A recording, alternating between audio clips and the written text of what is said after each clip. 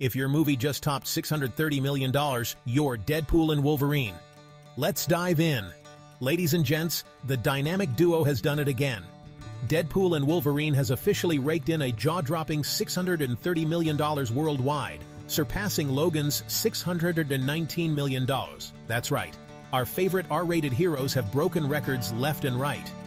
With $298.4 million domestically and $332 million internationally, this Shawn Levy-directed masterpiece is taking the world by storm.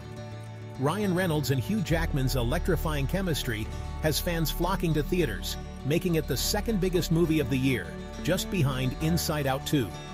Expect more fireworks this weekend, as Deadpool and Wolverine is set to become the highest-grossing R-rated movie ever in North America toppling The Passion of the Christ.